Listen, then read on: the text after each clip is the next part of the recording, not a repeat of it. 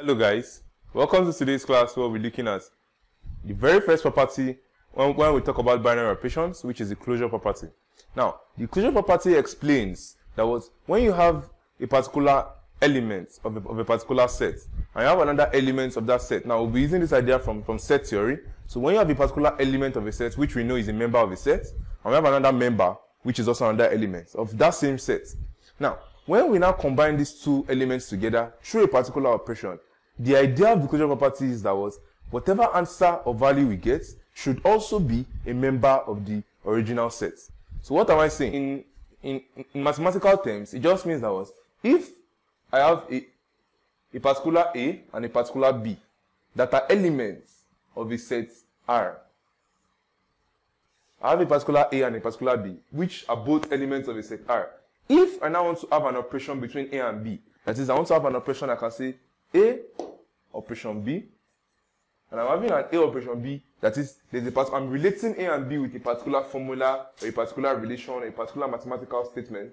The idea of the closure property is to what? Is to, ex, is to tell me that what, whatever my answer now becomes, after I've related both of them, should also be an element of that same set R.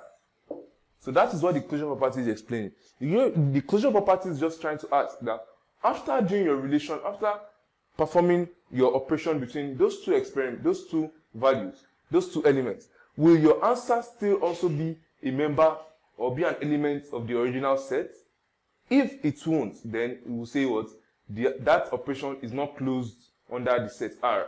But if that particular answer is also an element of the set R, then I'll be I'll be forced to say that was the the the operation the operation this is what is closed under the set R. So we'll be taking examples on how we can actually express this.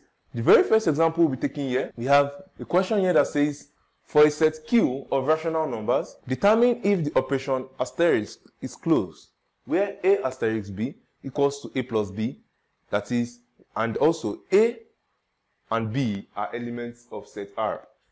Okay, in this case, this will be set Q. Now, they are giving us a set Q of rational numbers. That's why our knowledge of numbers and numeration is very important. We must be able to differentiate between rational numbers, integers, positive and negative, then um, natural numbers, real numbers, complex numbers. We should be able to separate the meanings of each of these values so as to, so as to determine whether or not a particular operation is closed under that particular set. Now, if you look at this question, it said what? For a set Q of rational numbers, determine if the operation asterisk is closed where A operation B is equals to A plus B. That means this operation is basically an addition operation. It is just an addition operation. That is, our asterisk in this case, our asterisk in this case is representing our addition sign. So it's only in this case that we're doing this. We're starting like this so as for us to understand the full concept of what we're talking about. So our asterisk here is just explaining that this operation is just basic, it's just a basic addition operation. Now, we are we are, we are, we are asked, is this operation closed under the set Q?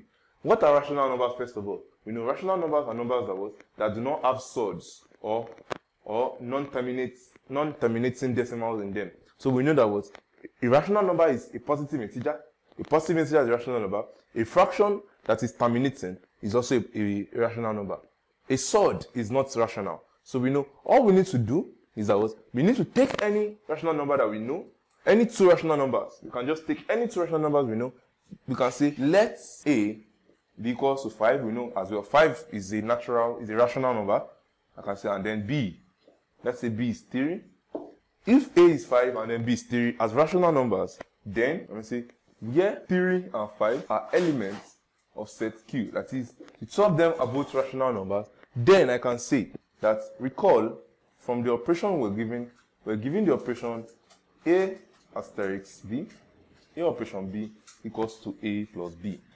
So if this is the operation we're working with, then it implies that since our two values that we've taken as A and B are 3, then I'll say then, I can say 3 operation 5 will be 3 plus 5. And if that is the case, I can say that this will give me a value of 8. Now, I've gotten a particular answer, a particular value. Now, I am not done. What I need to now do is to determine if this value is also an element of the set Q. If 8 is an element of the set Q, then I am right to say that was this operation asterisk is closed under set Q. But if 8 is not a member, is not an element of set Q, then I'll be saying that was this operation asterisk is not closed under set Q.